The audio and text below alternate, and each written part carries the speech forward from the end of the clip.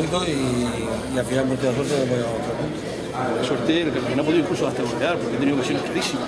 Bueno, ahí la vida hay que ser humilde y creo que es un buen resultado.